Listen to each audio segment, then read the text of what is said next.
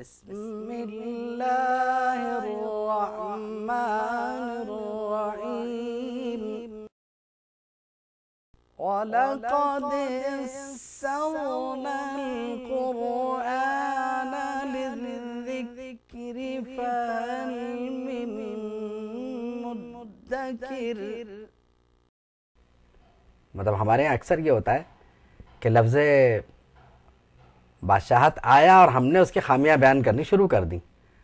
तो ये खामियाँ हर ज़माने में नहीं हैं, बल्कि ये तो माजी के वो तजर्बात हैं, जो कहीं अगर हुए तो हमने उसे खामी में शामिल कर दिया कि ये इसकी खामी है।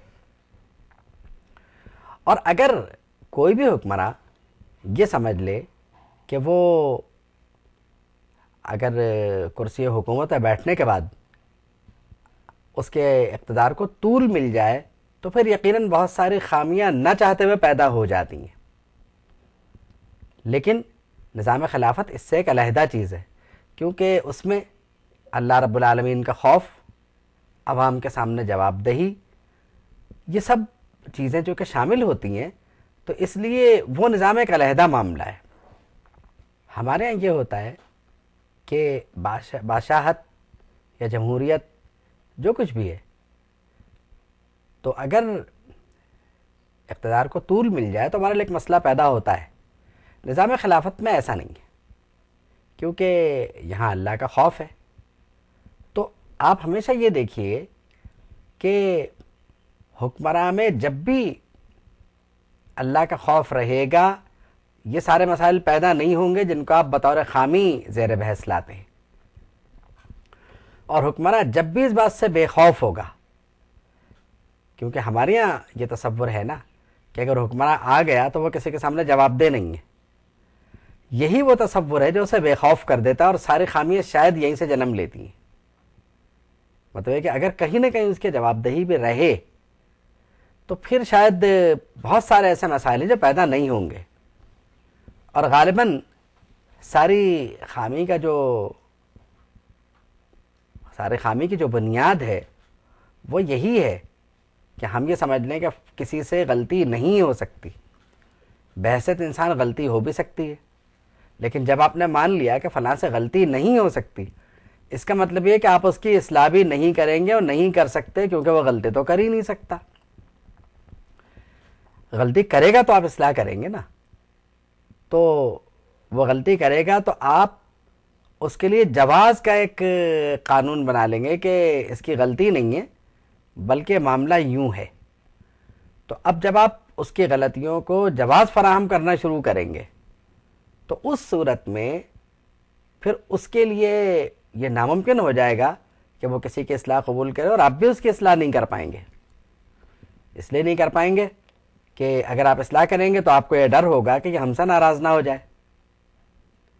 ये सारी बातें मैं इसलिए कर रहा हूँ कि निज़ाम खिलाफत में ऐसा नहीं है।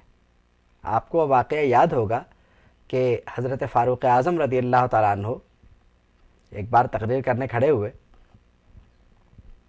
तो हज़रत सलमान फ़ारसी रदी अल्लाह तु वहाँ खड़े हुए और उन्होंने फरमाया कि देखिए, ना हम आपके तकरीर सुनेंगे, ना ही इतात करेंगे, पहले आप हमें ये बताइए कि आपके पास ये इजाफी कपड़ा कहाँ से आया? क्योंकि जितना कपड़ा मिला था हम सबको। तो उसमें आपका लिबास इस तरह का तैयार नहीं हो सकता क्योंकि हज़रत फ़ारूक आज़म रदल्ला तु का कद मुबारक ज़रा लंबा था। तो फ़ारूक आज़म खामोश हो गए और उसके बाद हज़रत अब्दुल्ला अबन उमर रदल्ला तुमा को बुलवाया।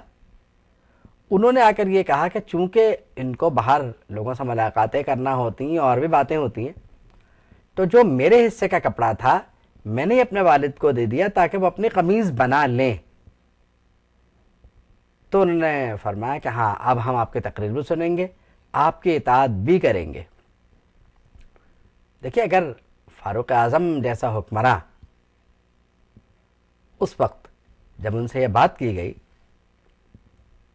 वो अगर सख्ती से नोटिस ले लेते और वो कहते हैं कि मैं तो गलती कर ही नहीं सकता, आप कैसे मुझे पकड़ने? तो शायद शोरिश बर्पा हो जाती, लोग बदजन हो जाते। लेकिन फारूक आज़म ने वो सवाल जो इस सिलसिला में पैदा हुआ था, उसका जवाब दिया। आप बरहम नहीं हुए। आपने उस सवाल को फेस किया, उसका जवाब दिया आपने।